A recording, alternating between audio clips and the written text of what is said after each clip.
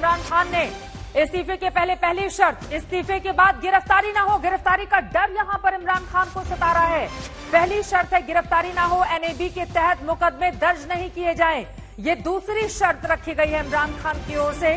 और तीसरी शर्त यह है शाहबाज की जगह। कोई और बने प्रधानमंत्री। यानी कि विरोधी दलों में भी वो चाहते हैं कि प्रो इमरान कोई ऐसा चेहरा हो जिसको शाहबाज की जगह प्रधानमंत्री बनाया जाए। और ये तीन शर्तें रख दी गई हैं इमरान खान की ओर से।